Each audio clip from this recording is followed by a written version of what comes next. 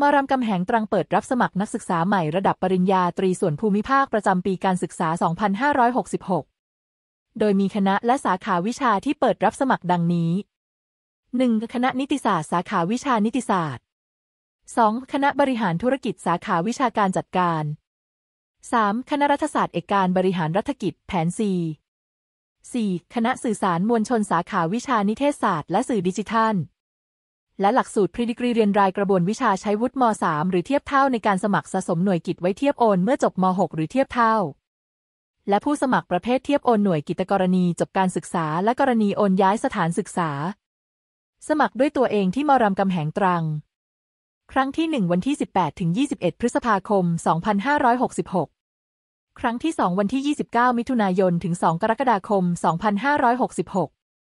สอบถามข้อมูลเพิ่มเติมโทร 0755011164 หรือ 0755011199